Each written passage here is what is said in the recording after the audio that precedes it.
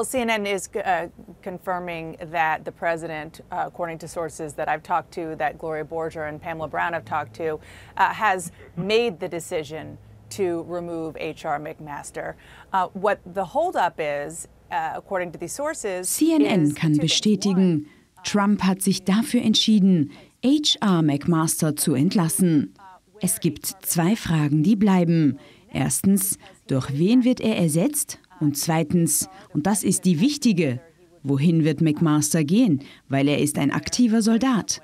Er ist zurzeit ein Drei-Sterne-General. Wird er einem Einsatz beitreten, um den vierten Stern zu bekommen? Oder wird er sich ganz vom Militär zurückziehen? Ich glaube, es gibt derzeit keine Antwort dafür. Wir haben schon länger darüber geredet, dass der Präsident über Nachfolger gesprochen hat. Leute wie John Bolton zum Beispiel, der ehemalige UN-Botschafter während der Bush-Zeit, könnte ihn ersetzen. Aber das ist bis jetzt noch nicht passiert.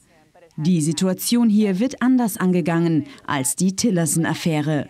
Wie General Hörtling weiß, weit besser als ich, weil er H.R. McMaster persönlich kennt, gab es des Öfteren Auseinandersetzungen zwischen McMaster und Trump.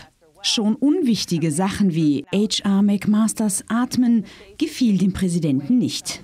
Auch an seiner Aussprache schien Trump sich zu stören. Er will ihn aber nicht über die Klippe springen lassen. Es sieht so aus, als würde er die Sache ruhiger angehen, nicht so abrupt wie bei Rex Tillerson oder James Comey.